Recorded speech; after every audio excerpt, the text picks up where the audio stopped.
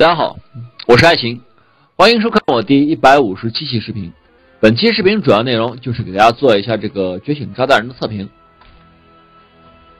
那么视频开始，我先说我对这个英雄的评价。觉醒炸弹人这次的觉醒，大家都对有这个英雄，包括他的觉醒技能抱有很高的期望，我也同样如此。但是两三天的竞技场实测 实测下来，我给这个英雄的结论是：这个技能看起来很美。但实际战斗效果然并卵。这个英雄目前反正我觉得他是不太好用，没什么卵用。当然，这也可能是我这个测试的阵容还不够多，对这个英雄的理解还不够深，可能有一些适合他的阵容我还没有挖掘出来吧。反正就最近我这五十场左右的炸弹炸弹人竞技场经验吧，嗯，这个实战经验告诉我，这个英雄在目前的竞技场中确实是没什么用，真是没什么用。为什么要说没什么用呢？我们来从头开始分析。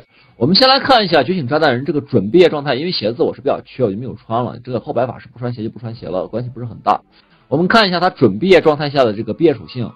那么作为一个后排法师，那么三万的血量的话，我觉得确实有点可怜了嘛。我们对比一下其他的后排法师，比如说巫医，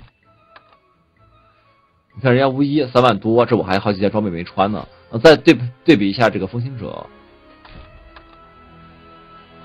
三万。三万八，那这个血量差距差距还是蛮大的。所以说，炸弹人作为一个后排法师的话，这几乎都毕业了。那么在后排法师中，血量可以算是最低的一个了。那么再看一下他的法强，法强的话破万一万以上。那么作为一个后排法师，中规中矩，算是标准。那么护甲的话，这三百五的护甲非常非常可怜，这也就导致了炸弹人在面对这种狼人一解内设队的时候会被瞬秒，因为狼人一个减甲就是两百的减甲，配合上一姐一姐的法穿，或者说其他英雄的一些啊那个。物理穿透，那么炸弹人这个英雄相当于相当于是裸体的这个暴露在对面的物理攻击面前，所以在面对物理内射队的时候，炸弹人是瞬瞬秒的，那么他根本没有办法打物理内射队，这也就是炸弹人的护甲太低了。魔抗的话接近四百，中规中矩的一个法师。那么看综合来评价一下炸弹炸弹人这个英雄的属性的话，他是一个非常非常脆弱的后排法师。那么他非常脆弱的话。那么与之相对呢，他应该有着很高的输出，因为我们知道一个英雄他都有两面性嘛。那么他有的英雄很输出很高，那么自然就会脆弱；但是但是有的有的英雄很弱，自然输出就不高。那么我们按道理来说的话，炸弹人这个后排作为一个这么脆弱的法师，应该是有很高的输出，或者说很强力的控制，或者说很好的辅助。但是目前的炸弹人在当前的竞技场环境下，这三点他都做不到。那为什么说做不到呢？我一会儿去会给你们进一场看一些具体的队伍。好了，首先我们分析完之后，我们再看一下这个洗弹属性。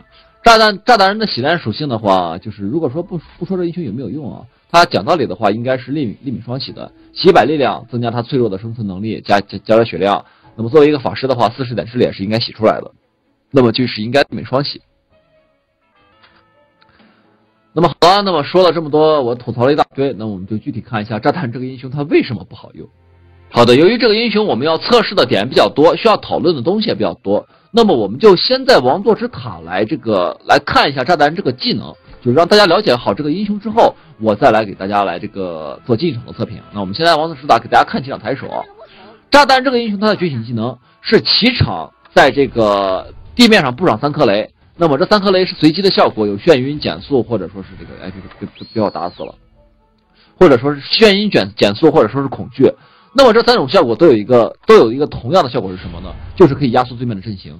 你们注意到我上个炸弹人，你看对面前排一被晕，他五个人几乎站在一排。那么我如果带其他英雄的话，他很容易被我压缩阵型。所以说，根据炸弹人这个觉醒技能的特点，那么我开始觉得炸弹人这个英雄应该适合搭配这种打这种。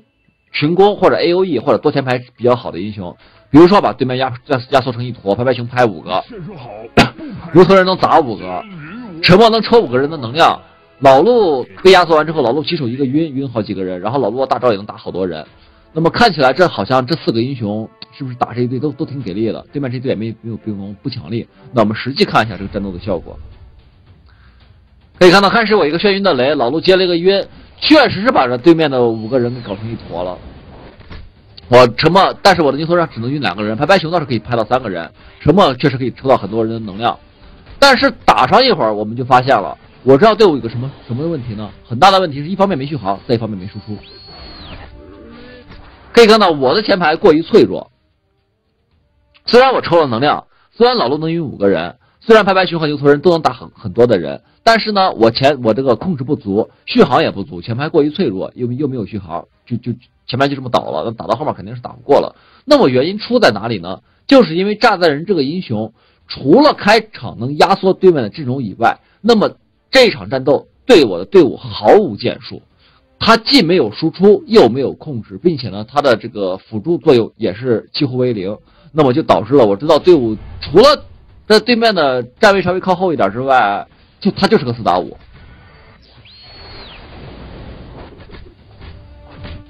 可以看到炸弹人除了压缩对面的阵型，还有地上这个小雷不疼不痒的小雷之外，再没有任何作用啊。那么等到炸弹开大的时候，我前排已经崩了。那么这时候就有人会提了，那你为什么前排要带这两个比较脆的英雄呢？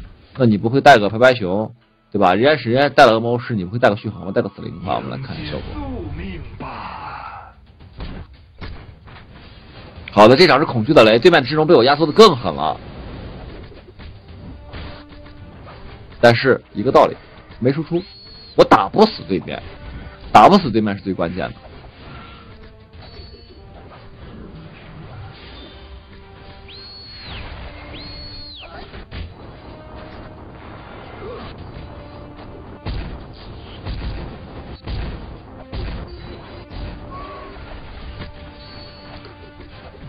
可以看到，我这打了半天，这对面还有三个人。好的，这把倒是能赢，但是我们赶紧退出来。但是这这队对面的队伍不是很强烈啊，而且这是打这个王座之塔，我的那个，我的那个，我还有卡黑屏的优势。那么这套队伍我们可以看到输出不足，效果不是很好。那我们再看一些其他思路，有些朋友可能说炸弹人压缩完阵容之后，把炸弹人当成白牛来用，然后用类似于法系波流的队伍。那我们一起来看一看这个效果吧。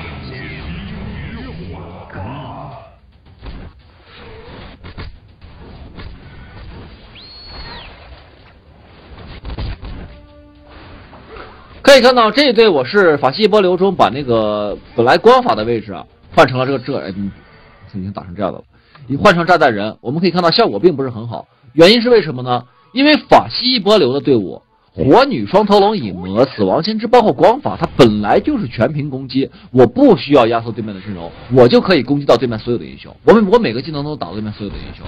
炸弹人上场的话，他那个压缩阵型完全是一个多余。因为我带炸弹人不如带个国王法，我多一个闪光爆的伤害，给队伍增加法强，效果可能会更好。那么带了炸弹人的话，他压缩完对面的阵型，那么本来是为我提升输出的，但是法系波流本来就是个全屏输出嘛，所以说不需要他压缩阵型，你看带法系波流很轻松就打赢了。所以说炸弹人这个英雄，当配合这种法系波流，效果也一般般。另外呢，有的朋友可能说我带个白牛怎么样？我这号是没白牛啊，带个白牛配合炸弹人双压缩阵型，会不会把对面搞成一坨？那么首先我要告诉大家，炸弹人配合白牛是不能把对面搞成一坨的，因为白牛进进场这个冲锋，他冲到我们的中场位置就停止了，对面的英雄都在这个地方，你就可以看到你带带个炸弹人带个白牛，你把炸弹人搞成这么一坨，然后你的白牛冲到你沉默这个位置，他停了，然后他走到前面去，这是非常坑爹的一点。所以说炸弹人跟白白牛打没有用。那么另外呢，炸弹人跟老树打也是同样能够压缩对面的阵型，但是都是那一个问题，我没有输出，我压缩完阵型没有用。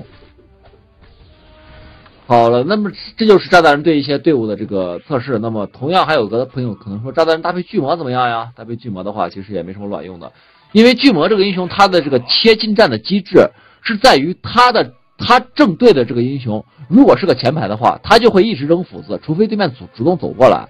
那么他如果正对的这个英雄是个中排或者后排的话，他他才会主动往前走。所以说这场我就算压缩了对面的阵容，我们可以看到我的巨魔他会站得远远的扔斧子，他不会走过去的。你们可以看到我这个巨魔，他都走到他在这个位置，他就不走了，然后他就一直扔斧子，除非对面的全能走过来。那么只有在我击杀掉全能和小鱼之后，对面的恶魔巫师正对着我巨魔，我巨魔他才会往前走。所以说炸弹人搭配巨魔这个思路也是不怎么成立的。那么目前对炸弹人的话，我大概就是这些想法吧，反正我都测试了一圈，都测试过来了，效果都不是很好。那么也就得出了一个炸弹人目前在竞技场中不是很好用的这个结论。那么这该测试的队伍差不多就这些吧，就这些吧，给大家测试完了。因为这场队伍还不是很强烈嘛，所以说给大家看这几道队伍。那么另外呢，我们回到这个竞技场，回到普通竞技场，我们就要面对我们的实际情况了。首先，在普通竞技场中，我们不可避免的要面对的一个问题就是这个冰龙怎么处理。我们带了炸弹人，这个冰龙几乎就是一个无解的存在，因为我们知道炸弹人这个英雄他的大招是一个持续的输出，是攻击前排与攻击后排。那么对面只要后排带了冰龙，我们这炸弹人只要一开大，给冰龙送两下能量，立刻被冰龙打断。那么炸弹人这个这这场的作用，几乎他这个大招是一个反作用，不但击杀不了对面任何的英雄，反而会给冰龙送能量，导致冰龙早开大招。那么冰龙早开大的后果，我们大家都都很清楚，就崩了。另外带炸弹人的话，一般都是我们一套先手的队伍嘛。那么先手秒不掉对面的英雄，炸弹人反而给冰龙送能量，让冰龙先开了大招，那么肯定是会被对面翻盘的。所以说在竞技场中，我们几乎就找不到这种不带冰龙的防守队伍。那么不带冰龙的防守队伍本来就比较好打，根本不需要炸弹人的英雄。所以说炸弹人这个英雄，我最后给他给他给出来的一个结论就是，不是很适合当前竞技场中的节奏。换句话说就是不好用。那么再换句话说就是没什么卵用。那么再说的严重点，大家还是换个英雄觉醒吧。那么当然了，肯定这也可能跟我对这个游戏理解不够深，那么对炸炸弹这个英雄挖掘不够透有关系。所以说，如果说有一些其他的朋友发现了炸弹人的用法的话，也别急着过来骂我，因为我也只是给大家分享一下我个人的经验嘛。那么我大概是我觉得是这样的话，我就勇敢的说出来。到时候被打脸了，我也觉着被打脸打脸吧。反正我知道啥，我总我总得实事求是吧。我不能去挑选几场炸弹人能赢的战斗。你要说炸弹打对面这冰龙队伍能不能赢，倒真有几率能赢，但确实是不是很好用。那我们今天就在竞技场中测试几道队伍试一试吧。知道队伍讲道理的话，对面这四前排，我这何必带炸弹人呢？因为知道这这四前排，我带个牛头人，带个沉默，还还皮到不行。那么既然本期是测试炸弹人的话，我们就来炸弹人打吧。四前排压缩阵容之后，牛头人打四前排很爽，带沉默抽四前排能量，带个老路海量输出。那么对面带个死灵法，带个拍拍熊吧，就这么打。好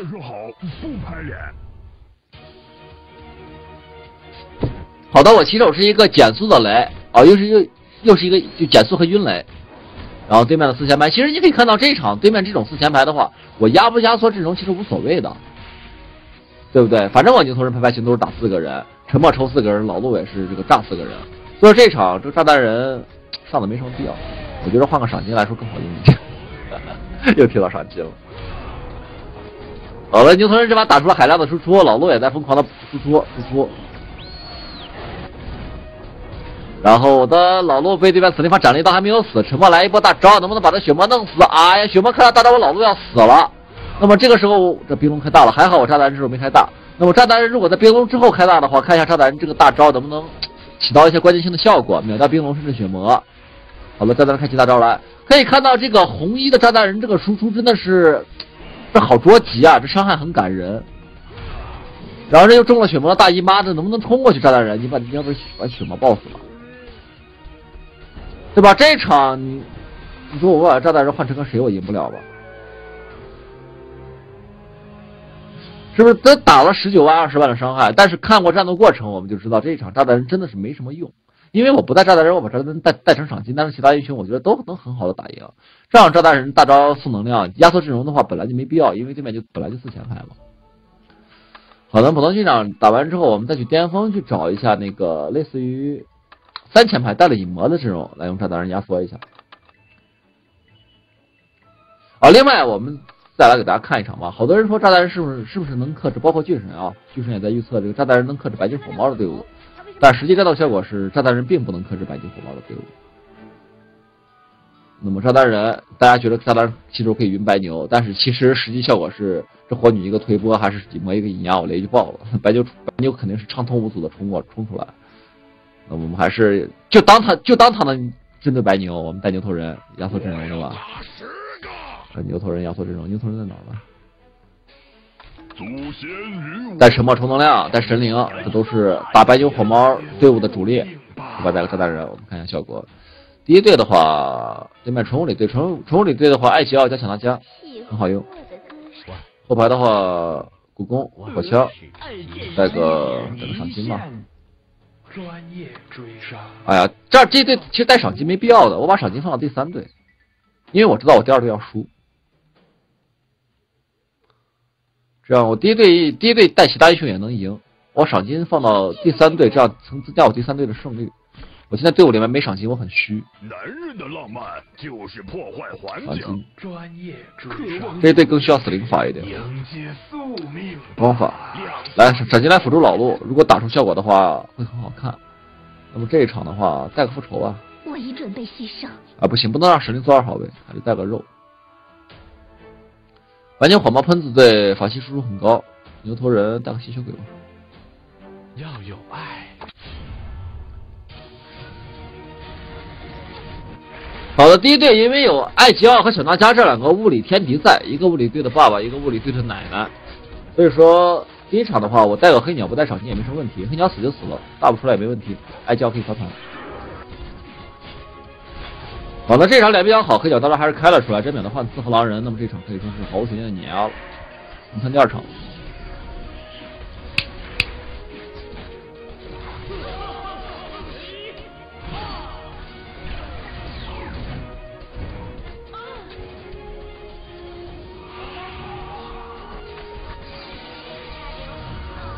有一前杀了我人。好的，我们看第二场，炸弹人起手这个雷对白牛火猫的压制效果。你看，火猫一刀，火牛再来个小技能，没了，雷没了，白牛冲的 happy happy 的，俄罗斯前白让压缩成一逃脱。然后后面的画面我觉得就惨不忍睹了吧？不知道我的神灵和吸血鬼能不能这场替我打打出翻盘来？我倒是挺希望赢的。哎，我的神灵挺厉害的，好的神魔又抽了能量，秒掉了火猫。那么这场你别说，真真是有点机会。凤凰开启了喷我炸弹人，哇！你看我炸弹人这个脆的，你他妈开个大招呀！你们说，这家伙这在这场中他有什么用吗？我带个巫医妥妥的。这三场对面，哎，这我发现最近我们去了四千白阵容好多呀，对面带了幽鬼，我恰好带了老陆。这一场其实我如果带个沉默抽一下四千白能量，我觉得是没有任何问题的。我应该把牛头人也放到这一队。问题是我都没带，那么我的老陆的大招不知道和幽鬼的大招开启的时间怎么样？不过这场我带了赏金，有悬赏令的话，老陆还是挺强的，肯定还有续航。好了，我老陆开启大招来，赏金同时给上悬赏令，那么可以清到幽鬼的幻象，那么这把老陆很可能打出海量的输出来，但是能不能赢我还不敢说，因为对面毕竟有血魔还有冰龙，老陆很可能无间道的。死灵法斩了我钢背猪的屁股，钢背猪宝表示还扛得住。现在血魔给我送能量，老陆在持续的掉血，打出海量的输出来。死灵法这一刀斩谁？漂亮，斩掉了艾吉奥。死灵法拿到了回能量的 buff，那么这场老陆还在输出，还在输出。老陆能量，哎呀，老陆能量被打光了。老陆没能量的时候，这时候冰龙开了个大招，我可以说谢天谢地了，不然老陆要把自己炸死了。好的，幽鬼开启了第二个大招，哎呀，这个大招我老陆没有能量呀。那么光法已经开启了推波，我的死灵法斩对面的死灵法一刀，好的漂亮，劈死了，劈死了，我的死灵法还在回能量。光法这一波希望不要反弹，只要能打出正向的话，伤害是很高的。赏金悬赏令的时间都到了，我的天！好的，这这光法这大招伤害很足。冰龙开启了第二个大招，选择目标应该是我选到最最多的赏金。那么对面现在还剩下两个英雄，我还剩下三个英雄。那么打到打到战斗角色，主要双方阵容人人数是一样的话，也是我赢，因为这场对面的幽鬼实在送我太高的伤害了。好的，赏金最后拖了一下时间，我两个人对面两个人，那么肯定是我赢的，因为幽鬼的幻象让我老陆打出了太高的伤害了，我的伤害比对面高。好了，那么第二场我们也得出了一个结论：炸弹人并不能克制白牛火猫，包括炼金这种法系波流先手的队伍，因为他打炼金也是一个道理，打白牛火猫是晕不住白牛。那么打那个炼金的话，开始倒是可以压缩对面的阵容，但是打断不了对面的抬手，他的法系波流还是能打出来的。所以说炸弹这个英雄，哎呀，我也不能光说他不好，可能也是 我对游戏理解不到位吧，技术不够，把这个英雄用不好。那么还希望看有没有其他的攻略大师能够用好这英雄。反正我最近对这个英雄真的是 好失望呀。好的，进一场还有五十秒时间的 CD，那么我们又找到一套队伍，这套队伍是带了血魔死灵法，然后海民影魔冰龙的队伍。前面我用炸弹人打的输的这一场是打对面这个呃四 T 队伍，可能有些朋友觉得这场完全没必没有必要上炸弹人嘛，因为压缩阵容完全没有效果，本来就可以打四前排了。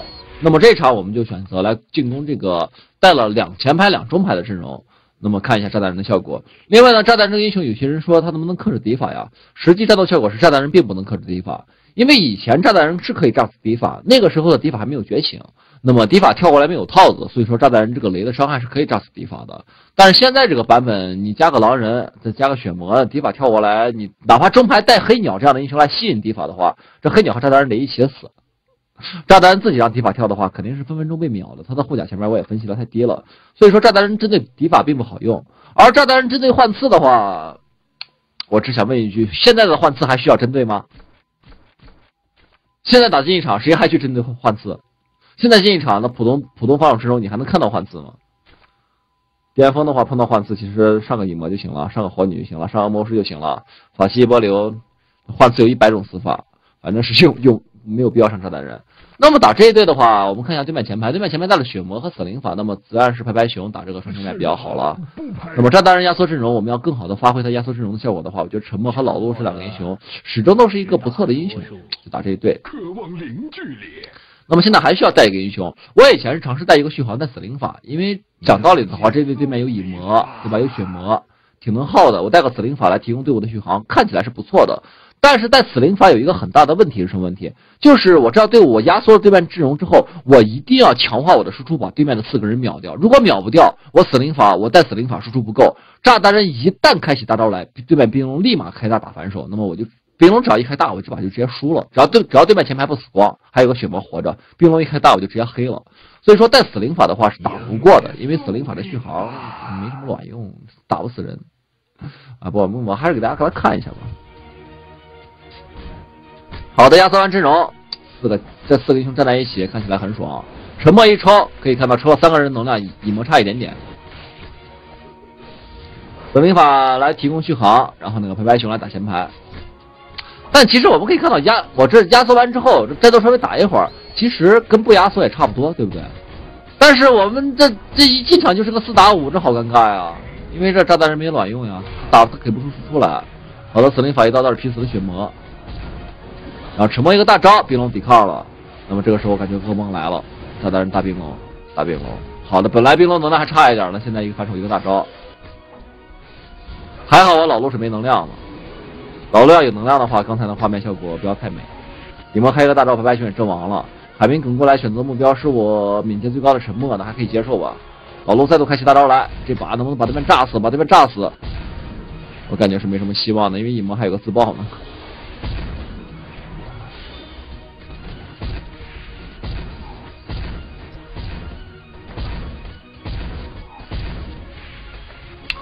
这把我的老陆倒是打了海量的输出，拍拍熊也是尽力了。但是实在没办法，因为我们说起来就是少了个人，相当于四打五。因为这场可以看到，渣男除了压缩一下对面的阵型，然后让我沉默抽能量多抽到了老陆，老陆这个大招多打了几个人之外，再没有其他的效，再没有其他的这个对队伍的帮助了。他提供不了输出，提供不了控制。他的大招反而会起到反作用，在打冰龙的时候，所以说这场即便我压缩对面阵容，老陆输出很尽力，带了死灵法的续航依然没有卵用。那么下一场我就来给大家看一看，我不带死灵法，来带这种暴力的输出，配合炸弹人把对面压缩完前排，就这阵型压缩完之后，强行的秒对面，看能不能秒掉。秒掉也是有机会、有几率秒掉的，就打赢也是有几率赢的。我们不能光输，想办法赢一场吧。打敌法也不用想，炸弹打不了敌法。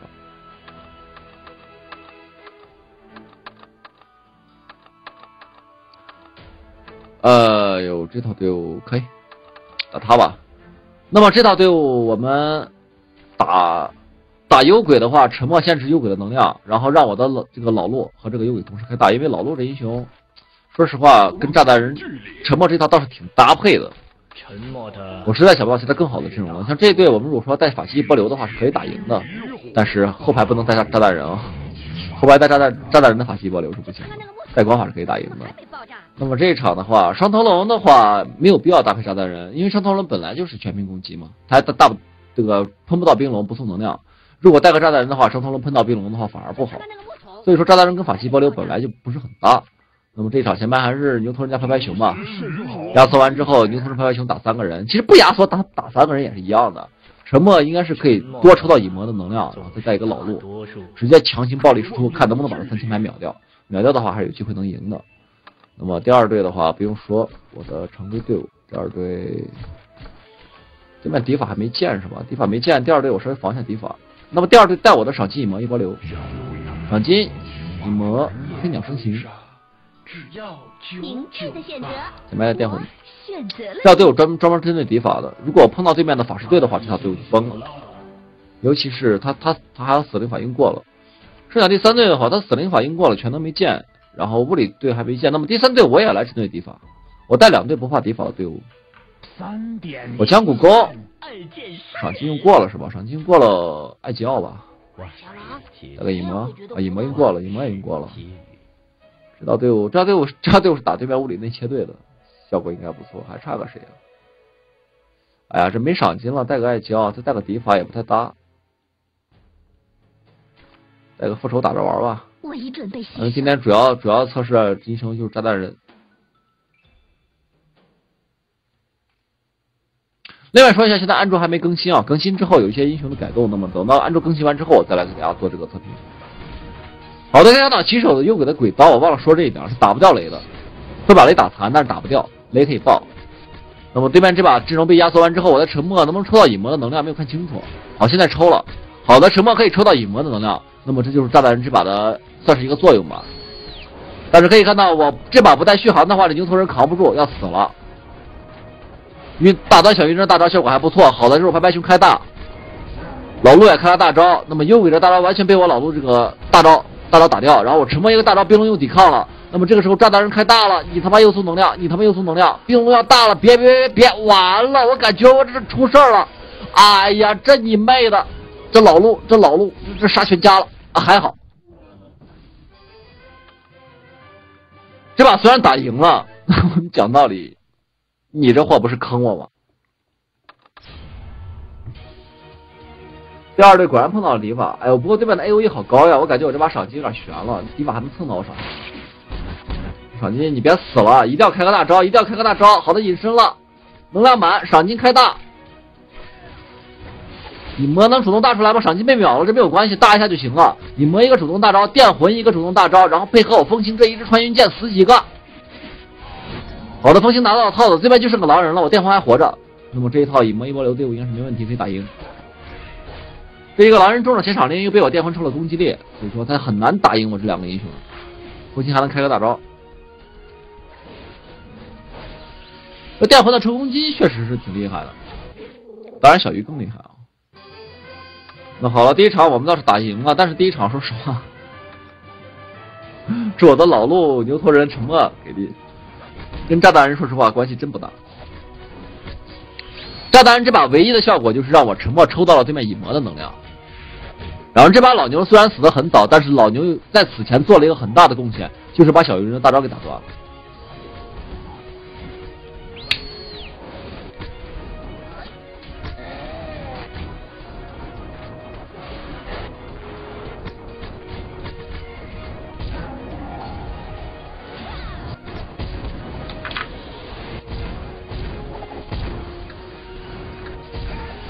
这把真的是老洛大招克制幽鬼大招效果比较好。